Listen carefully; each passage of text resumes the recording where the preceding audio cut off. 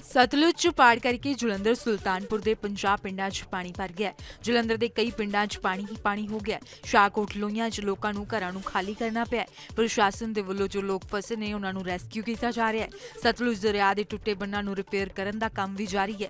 ਸਤਲੁਜ 'ਚ ਪਾੜ ਪੈਣ ਕਾਰਨ ਜਲੰਧਰ ਦੇ 36 ਅਤੇ ਸੁਲਤਾਨਪੁਰ ਲੋਧੀ ਦੇ 14 ਪਿੰਡ ਹੜ ਦੀ ਲਪੇਟ 'ਚ ਆ ਗਏ ਨੇ। ਫਿਲੌਰ ਦੇ 100 ਫੁੱਟ ਅਤੇ ਮੰਡਾਲਾ ਛੰਨਾ, ਗੱਟਾ, ਮੁੰਡੀ, ਕਾਸੂ ਪਿੰਡਾਂ 'ਚ ਦੋ ਹੋਰ ਪਾੜ ਪੈਣ ਕਾਰਨ ਜਲੰਧਰ ਦੇ ਗਿੱਦੜ ਪਿੰਡੀ, ਸ਼ਾਹਕੋਟ ਤੇ ਲੋਹੀਆਂ ਦਾ ਵੱਡਾ ਖੇਤਰ ਵੀ ਪਾਣੀ 'ਚ ਡੁੱਬਿਆ ਹੈ।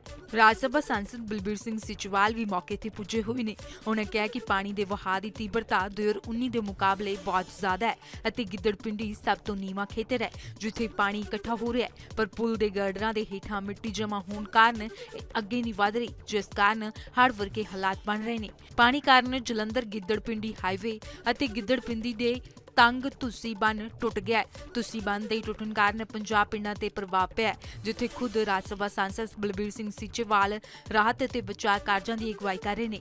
ਗਿੱਦੜਪਿੰਡੀ ਨੂੰ ਜਾਣ ਵਾਲੇ ਮੁੱਖ ਮਾਰਗ ਦੇ ਪਾਰ ਪਿੰਡਾਂ ਦੇ ਵਲੰਟੀਅਰਾਂ ਦੀਆਂ ਟੀਮਾਂ ਤਾਇਨਾਤ ਕੀਤੀਆਂ ਗਈਆਂ ਨੇ।